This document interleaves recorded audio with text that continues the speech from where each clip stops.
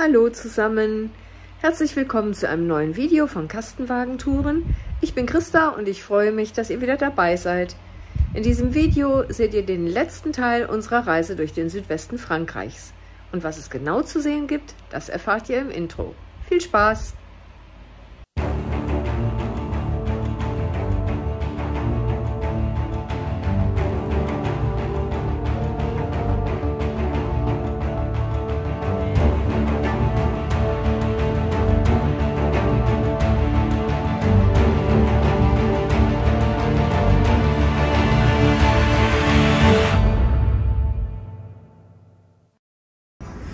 Auf dem Weg aus dem Bereich des Armagnac machen wir einen Zwischenstopp in Nérac. Stehen hier unten am Flüsschen, werden aber nicht hier übernachten. Gehen jetzt einmal rauf in den Ort und fahren dann später weiter bis an den Fluss Lot, L-O-T geschrieben.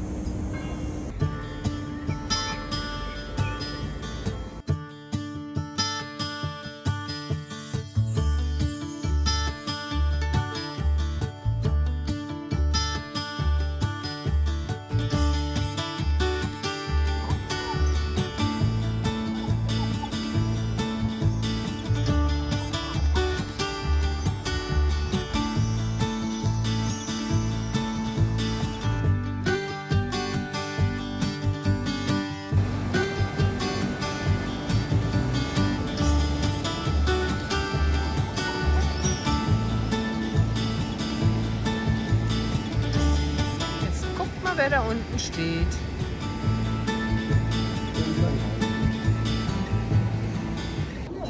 So, weil ich zu faul war, jetzt schon weiterzufahren und mich irgendwo hinsetzen wollte und dachte, hier gäbe es Eis, sind wir hier gelandet. Und es gibt hier auch Eis, aber das ist alles sehr speziell. Nämlich mit ähm, Roquefort oder ähm, mit Tomate Basilikum und solche Sachen. Und es gibt ganz ausgefallene Menüs und ähm, ja, so, für so eins haben wir uns beide entschieden.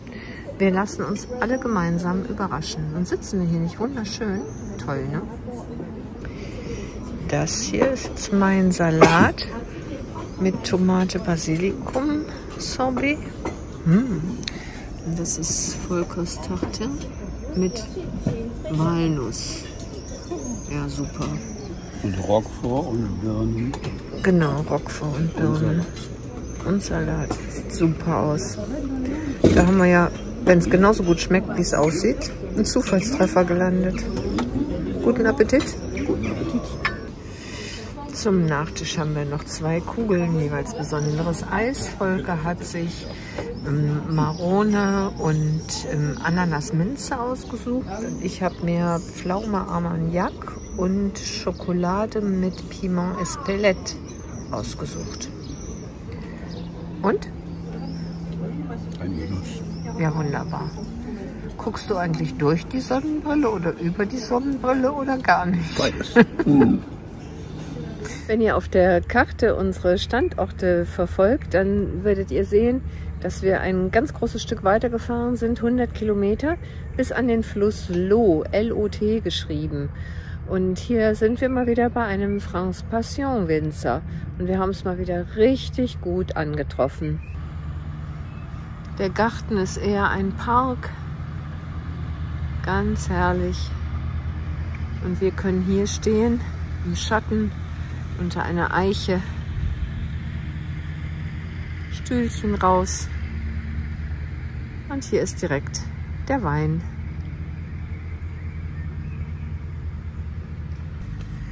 In Deutschland sind wir oft mit Landvergnügen unterwegs und da heißt das Motto, schöner steht man selten. Das stimmt, aber genauso schön steht man auch mit France Passion.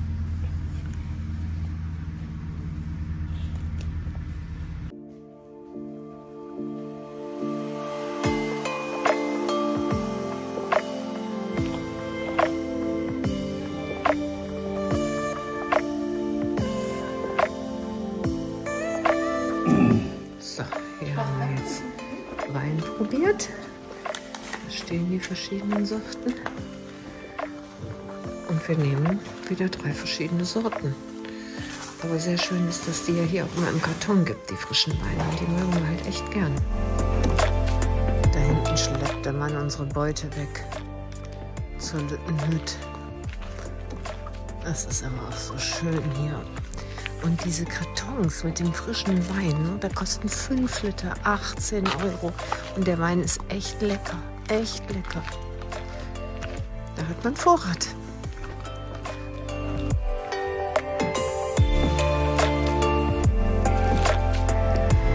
Guten Morgen. Ich weiß, ich habe euch diesen Standort schon gezeigt, aber noch nicht beim Frühstück, wenn so ein bisschen Sonne auf den Tisch scheint und man es auch in der Sonne noch aushalten kann. Es ist einfach so traumhaft schön hier. Es ist schon schade, dass man hier nur eine Nacht bleiben kann. Hier könnten wir es aushalten. Herrlich. Ich will euch auch noch eben zeigen, mit welchem Reiseführer wir unterwegs sind. Ähm, das ist der hier, den wir die ganze Zeit benutzt haben und wir sind viele Touren nachgefahren, ähm, haben ergänzend dazu aber eben auch Franks Passion Plätze genutzt, ähm, haben Touren übersprungen und sind auch zum Beispiel im Baskenland, als wir nach Aldüt gefahren sind, eigenen Spuren gefolgt. Aber insgesamt extrem empfehlenswert, wenn man mit dem Wohnmobil unterwegs ist. umgezogen in den Schatten, war doch zu warm in der Sonne. Wir haben einen traumhaft schönen Platz am Fluss Loh gefunden. Dieser kleine Campingplatz hier wird von einem Niederländer betrieben, hat nur 25 Stellplätze. Jeder liegt direkt am Wasser und hat mindestens 300 Quadratmeter. Unfassbar. Es ist total schön hier. Und wir bleiben einfach ein paar Tage hier und machen ein paar faule Tage, sodass ihr von hier nicht viele im Video zu sehen bekommt. Die Temperatur ist nicht schlecht für 16.45 Uhr, oder? Aber ja. Dann will ich euch heute mal wieder einen kleinen Einblick in meine Campingküche geben lassen. Das ist noch ein Schweinefilet von dem Bauern im Baskenland, wo es die baskischen Schweine gab. Hier koche ich gerade Kartoffeln ich streiche das ähm, Schweinefilet dann mit ein bisschen Senf ein, würze es mit Salz und Pfeffer und ähm, dann kommt es zusammen mit Speckwürfelchen, Sahne, das hier ist jetzt Creme Légère und Curry in den Omnia und wird dafür 20 Minuten gebacken. Was ich natürlich noch vergessen habe, das ist meine selbstgemachte Tomatenmarmelade. Äh, wenn ihr die sowas nicht habt, dann könnt ihr auch Tomatenmark und ein bisschen Honig nehmen. So, ist in Scheiben geschnitten, mit Senf bestrichen, Salz, Pfeffer gewürzt und Speckwürfelchen drüber. Schöner ist eigentlich noch, wenn man es in Speckscheiben einwickelt, aber die hatte ich nicht. Soße ist angerührt und wird jetzt drüber gegossen möglichst nicht in das Loch rein.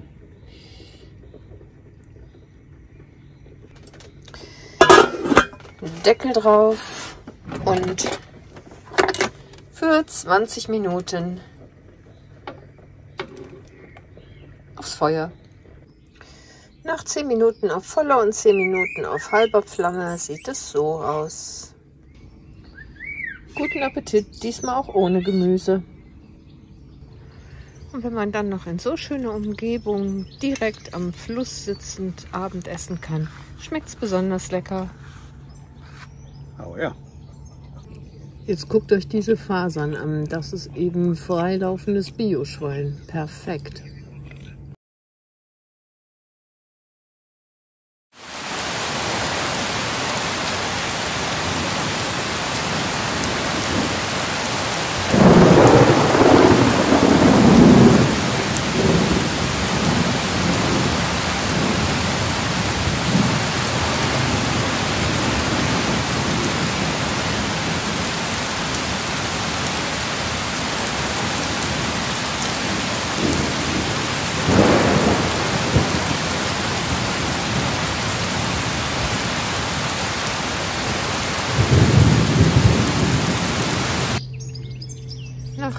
gibt es auch wieder Sonnenschein und heute Abend können wir so schön hier am Fluss sitzen. Das geht's uns gut. Und der kleine Mann, der wartet schon, dass es was zu essen gibt, weil er hofft, dass er dann was mitbekommt. Nicht so? Ist das so? Ja.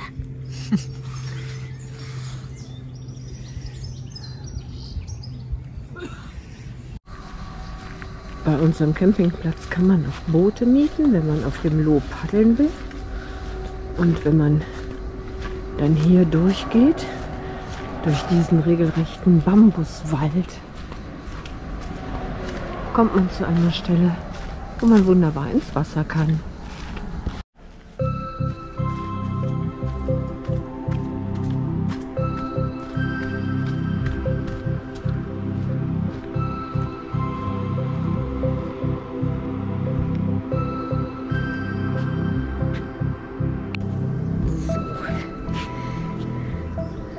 Jetzt geht's über die Badeleiter rein. Ja, da war die Kamera weggeknickt. Es ist auch ein bisschen rutschig hier auf der Badeleiter. Ich lege die Kamera mal lieber hier hin. Gucken, ob das klappt. Nee. Gegen die Strömung zu schwimmen ist ziemlich anstrengend. Vor allem, wenn man nur eine Hand hat, weil in der anderen Hand die Kamera ist. Aber es macht so viel Spaß hier. Und der Fluss hat eine super Temperatur. Wenn da nicht der Steg und hinten diese Badeplattform wäre, ich weiß gar nicht, ob man sie von hier aus so richtig sehen kann, dann könnte man meinen, man ist auf einem Urwaldfluss unterwegs. Ich liebe es ja, in offenen Gewässern zu schwimmen. Geht's flussabwärts. Und viel, viel leichter.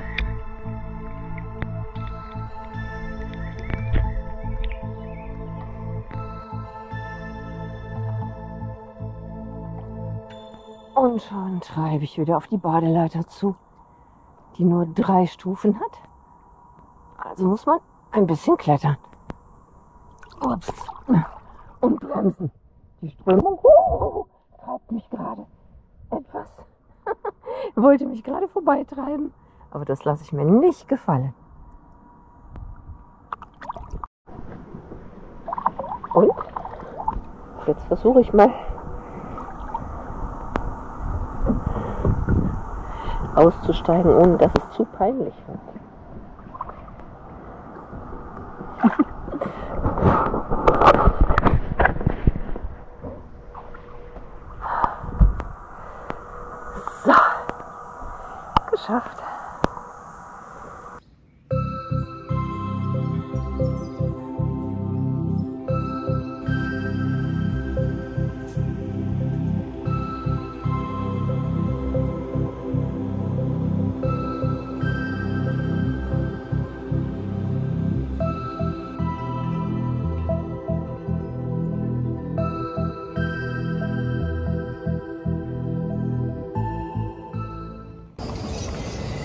Wir sind jetzt schon eine ganze Woche auf dem Campingplatz hier, nicht zu fassen, weil es uns einfach so gut gefällt und wir waren total faul. Aber vom Campingplatz aus kann man einen, eine Staustufe oder sowas ähnliches sehen und hören. Und das Einzige, was ich nun wirklich einmal tun wollte, war bis zu dieser Stufe zu gehen. Und da begegnet uns ein kleines Schloss und die Staustufe selbst. Und das war es dann auch schon.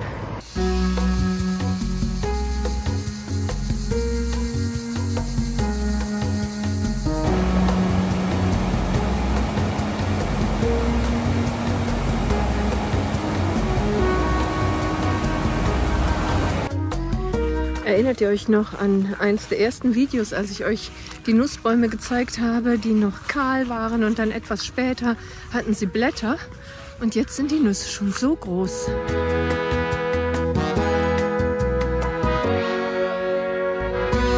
Und so sieht so eine Nussplantage jetzt aus.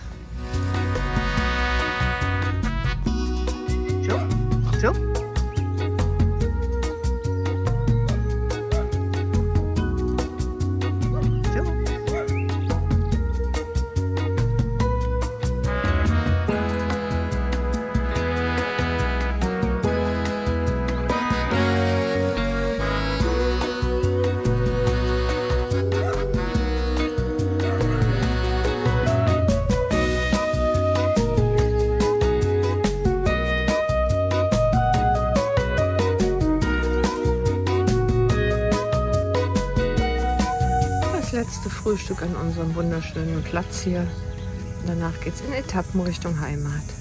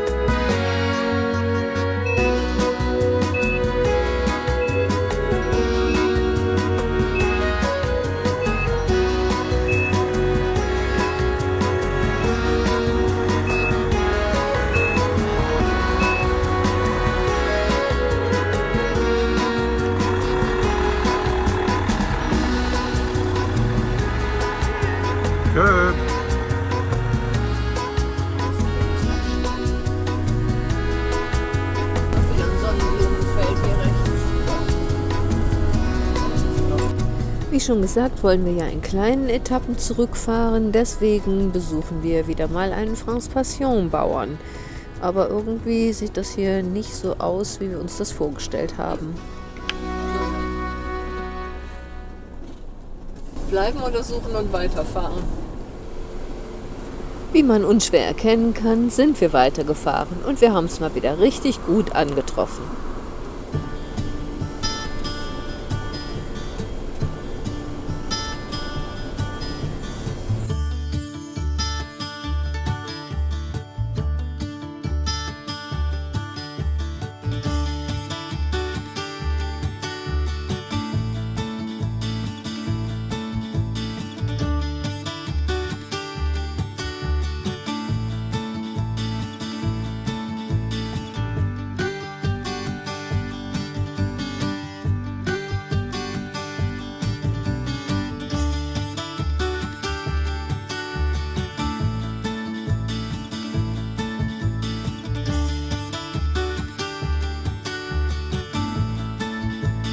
Guten Morgen. Guten Morgen. Wir sitzen an einem wunderschönen Platz. Ihr habt ja schon gesehen, wo wir gestern hingefahren sind. Und da frühstücken wir jetzt. Guckt euch das mal an, wie schön das hier ist.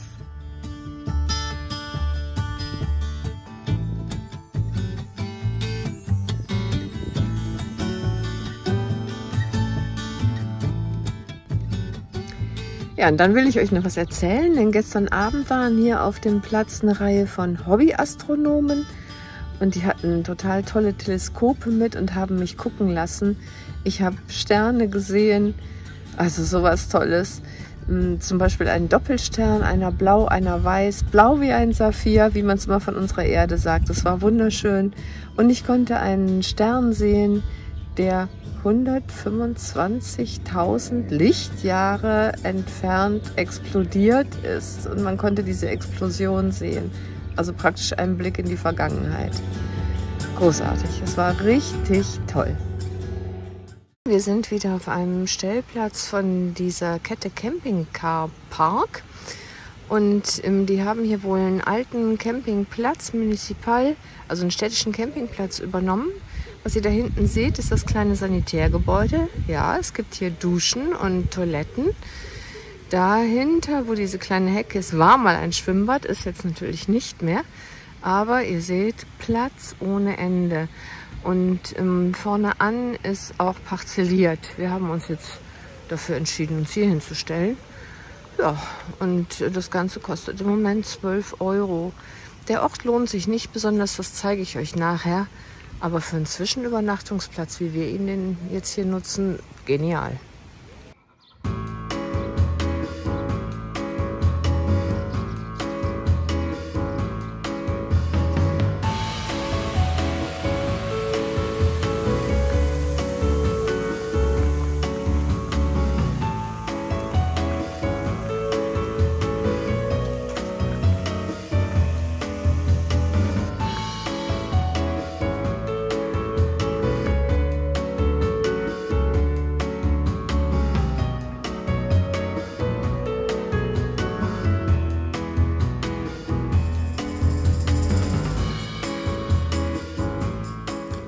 Ja, und jetzt nähern wir uns unserem letzten Stellplatz auf dieser Reise.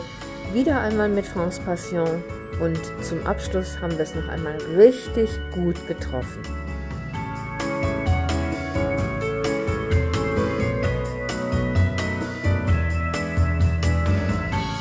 Letzte Halt auf unserer Reise. Wir sind in den Ardennen, noch einmal bei einem France Passion Hof. Diesmal ist es ein Hof, wo Cidre gemacht wird. Ich habe ganz oft Cidre getrunken, nicht nur Wein. Und jetzt freue ich mich, dass wir einen solchen Abschluss haben. Und wir stehen wieder wunderschön. Und es sind ganz nette junge Leute, die uns empfangen haben. Und um 18 Uhr können wir zum, zur Verkostung. Letzte Mahlzeit bei unserer Reise, also letzte richtige Mahlzeit. Auch wenn es nicht so toll aussieht. Es ist ähm, Pute mit ähm, Harissa gewürzt und ähm, Sahne dran. Und Datteln sind drin, Reis dazu. Ja. So sollte es schmecken. Guten Appetit. Das riecht lecker.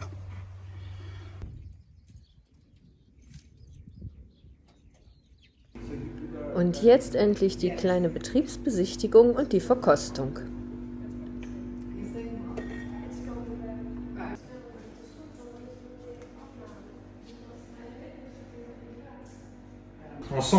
Da ist die Riesenauswahl an Sachen, die man hier bekommen kann ganz ausgefallene Sachen. Vor allem hier dieser Ratafia. Barbon Croc. Habe ich vorher noch nie was von gehört. So. Euh, Peut-être comme ça, je pense, avec la lumière. Nee, c'est, ça va avec la lumière, vous voyez C'est bien. Ouais. Das ist Xavier. Sa, Javi, Xavier. Xavier. En espagnol. Ah, ja. Das ist Xavier. Ihm gehört das Ganze hier und er erklärt uns jetzt hier, was Barbon Croc, das ist das ähm, Flagship Product hier aus dem äh, Geschäft, was das ist. Ja, und da Xavier alles auf Französisch erklärt und mein Französisch nicht so gut ist, dass ich euch das wirklich genau übersetzen könnte, habe ich an dieser Stelle hier erstmal einen Schnitt gemacht. Und für alle die von euch, die gut Französisch sprechen, hänge ich die Erklärungen von Xavier ganz hinten ans Video. Wenn das Video zu Ende ist, also für die Französisch Sprechenden, nicht ausschalten. Xavier kommt noch mit seinen Erklärungen. Ja, Leute, das ist unser letzter, letztes Frühstück bei dieser tollen Reise. Schade. Nicht für das Frühstück, sondern für die Reise. Die Reise ist dann Ja, Volker, was würdest du denn sagen, so zum Abschluss unserer Reise? Ja, ich denke, dass wir beide frankophil geworden sind. Ne? Wir sind viel gereist, wir haben viele Länder gesehen, aber Frankreich hat uns angefixt. Ja, total. Und jetzt reißt gleich der Hund den Tisch um. also, wie gesagt, wir verabschieden uns von dieser Reise. Zehn Wochen. So lange sind wir noch nie unterwegs gewesen. Das war richtig klasse. Und es war kein Tag zu lang. Also, das war einfach wunderbar. Und ich möchte mich ganz herzlich bedanken bei euch, dass ihr mit uns gereist seid, dass ihr uns immer wieder so nette Kommentare geschrieben habt. Das macht einfach auch Spaß, dann so ein nettes Feedback von euch zu bekommen. Und ähm, ja, es soll es auch noch nicht gewesen sein mit Frankreich, also mit dieser Frankreich-Reise. Ähm, ich habe vor, schon noch ähm, ein, zwei Videos vielleicht äh, über unsere Reise hinterher zu machen. Ich habe so eine Idee, äh, sowas zu machen mit Tipps, also was man tun kann, damit der Frankreich-Urlaub noch schöner wird oder auch was man tun kann, damit der Frankreich-Urlaub gründlich verdorben wird. Da gibt es auch Tipps und äh, vielleicht irgendwie so unsere schönsten Stellplätze. Schreibt gerne mal in die Kommentare, ob ihr eine Idee habt, ob ihr einen besonderen Wunsch habt, äh, worüber ich noch ein Video zu unserer Reise machen könnte. Ja, und ansonsten wünschen wir euch und uns natürlich auch alles Gute. Ja, alles Gute. Und, und gute Reisen. Gute Reisen und äh, ich hoffe, wir sehen uns bald. Hallo. Da wollten wir uns nett von euch verabschieden, da kam aber dann gerade jemand und irgendwie ist dann der Rest des Videos untergegangen. Also mache ich das hier nochmal. Ich danke euch nochmal sehr, sehr dafür, dass ihr so schön mit uns gefahren seid, so viele nette Kommentare hinterlassen habt. Und ich freue mich schon sehr drauf, wenn wir wieder reisen und wir wieder mit dabei seid. Und auch wenn die Reise für uns jetzt zu Ende geht, werdet ihr weiterhin Videos von uns sehen. Ihr werdet also auch nächsten Sonntag wieder etwas erfahren. Bis dahin, tschüss. Un grand merci, une bonne journée.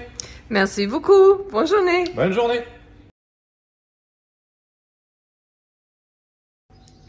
Bonjour, Bonjour. bienvenue à la cidrerie de Warnécourt.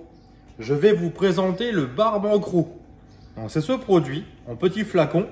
Donc c'est un alcool de pomme issu d'une macération et fermentation d'une pulpe de pomme qui va se faire dans nos bâtiments dans des grosses cuves de 10 000 et 15 000 litres et qu'on va laisser fermenter pendant 4 à 6 mois. Ensuite, la pulpe va être distillée par notre alambic, qui est un alambic à vapeur, et qui va nous permettre de sortir tous les arômes, tous les alcools, sans brûler, sans caraméliser. Mais surtout une chose, la vapeur de notre distillation va nous permettre de sortir le gras du fruit et amener beaucoup de rondeur et de subtilité par rapport à la dégustation du produit fini. Donc à partir d'une pulpe de pomme, nous avons énormément de qualités aromatiques, de fruité et de gras. Et ensuite, on va faire vieillir cet alcool pendant un an en fût de chêne neuf. Et la finition va se faire en fût de cognac. Donc des cognacs, un fût de cognac qui va rester un an et demi directement en fût l'alcool de pomme. Et on va voir un alcool au final très aromatique, très fruité, très rond, avec beaucoup de corps, beaucoup de puissance et surtout une chose à 52 degrés. Donc ensuite, nous allons pouvoir vous parler de son petit frère en même temps, la liqueur de Barbancrot. Donc là, on part du 52 et on refait un sirop de sucre pour descendre à 35 degrés d'alcool et on fait infuser une demi-gousse de vanille qu'on a directement fait revenir de la Réunion.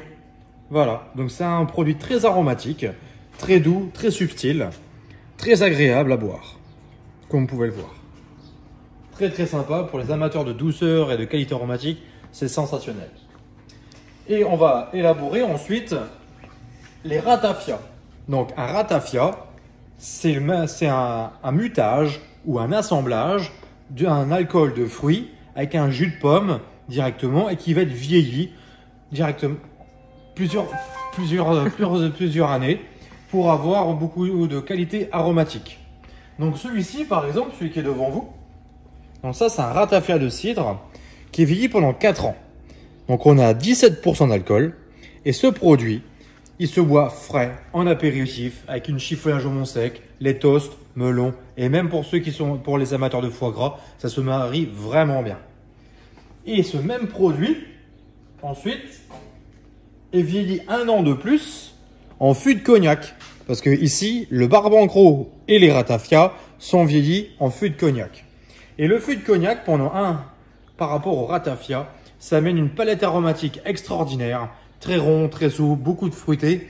Et pour les personnes qui aiment beaucoup les produits aromatiquement très complexes, ça en apéritif ou en digestif, c'est extraordinaire. Donc une petite chiffonnière jambon sec, les melons et même un foie gras, encore une fois, c'est vraiment sympa. Un grand merci, une bonne journée. Merci beaucoup. Bonne journée. Bonne journée.